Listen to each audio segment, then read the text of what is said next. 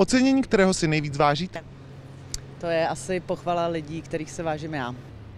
Čím jste chtěla být jako malá holčička? Fotografkou. Moment, kdy jste se skutečně bála o život. Tak těch bylo nespočetně asi. Nejhorší noční můra fotografa. A že nedám do foťáku kartu.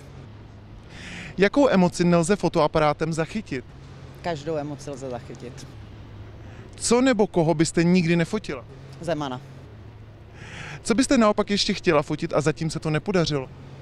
Tak těch věcí bude víc určitě, ale jsou to přesně ty emoce.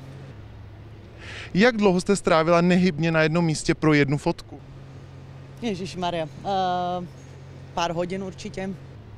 Kolik stojí nejdražší fotoaparát, co vlastníte? Já myslím, že 150 tisíc. Co nebo koho, kromě fotek, ještě milujete? Uh, jídlo, svoji kočku, uh, rodinu a spoustu věcí. Co si myslíte o paparaci fotografech?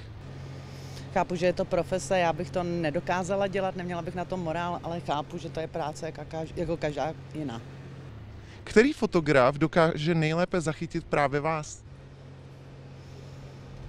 Jež ten, který je rychlej. Co děláte, když nefotíte?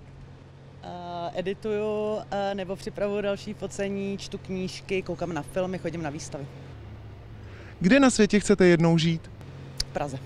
Na co byste se zeptala vy mě? Jak jste se dneska měla? Strašně mi hrozný vedro.